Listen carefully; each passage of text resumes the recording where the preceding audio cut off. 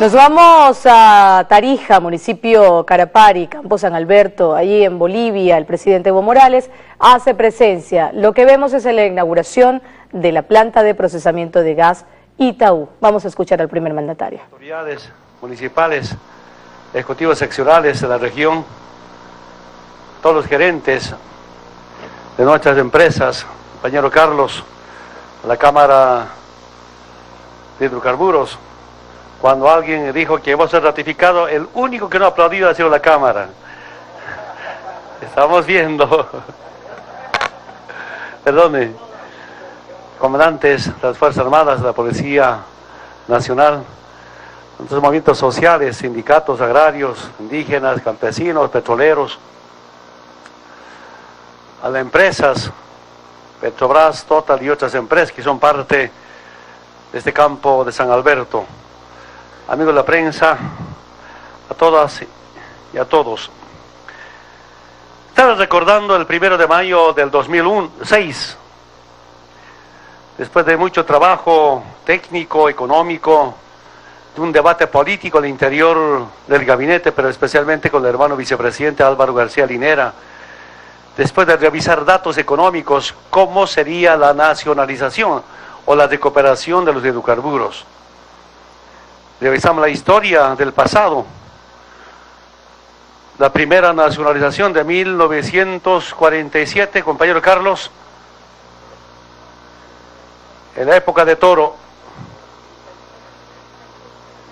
36 después de la guerra del Chaco, encabezó un militar, general Toro, la primera nacionalización.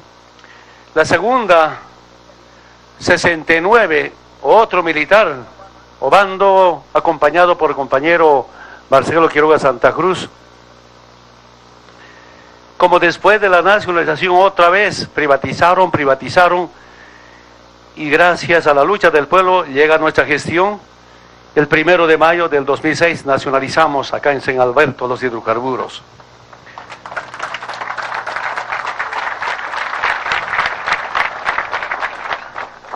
El debate dónde radicaba en la propuesta que nos hicimos durante la campaña. Queremos socios, no patrones ni dueños de nuestros recursos naturales, de las empresas que invierten. Cuando debatimos la modificación de la ley de hidrocarburos, las amenazas de gobiernos neoliberales, de algunos cívicos y sobre todo de la derecha que decía, si se nacionaliza no va a haber inversión si se modifica la ley de hidrocarburos, no va a haber inversión.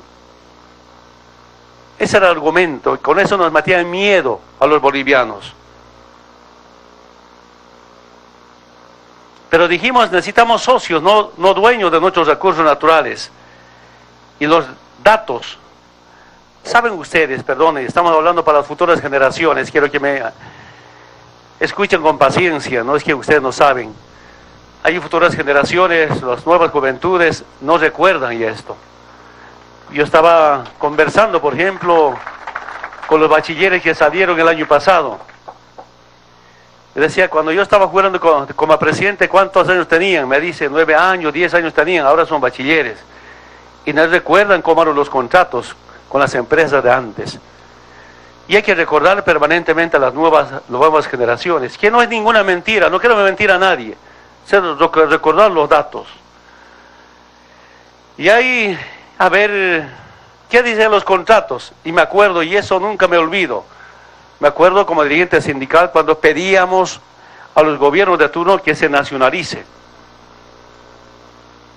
Era que eran contratos inconstitucionales y lo que decía en el contrato es el titular adquiere el derecho de propiedad en boca de pozo.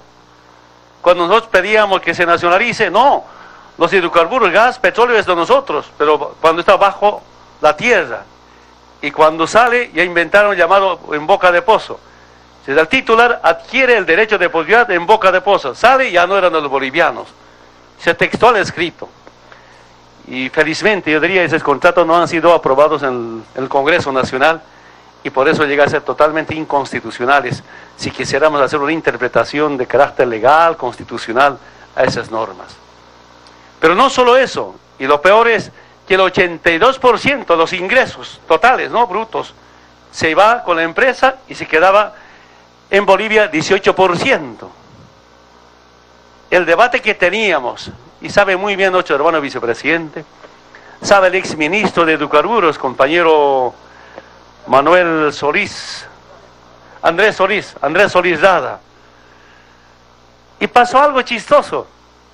Bueno, estaba el Alex Contreras como vocero del palacio. Debatíamos en el palacio, en el cuarto cerrado con algunos técnicos y la prensa se informaba.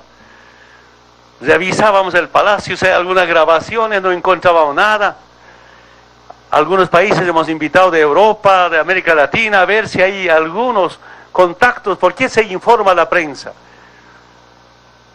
Y después trasladamos el debate a mi departamento privado. Hay un 20 de octubre, aquí agarré en Anticrético un, un pequeño departamento, y hay del debate. Y seguía saliendo la información. ¿Qué pasaba? Cuando quien estaba sacando la información, había sido nuestro vocero Alex Contreras.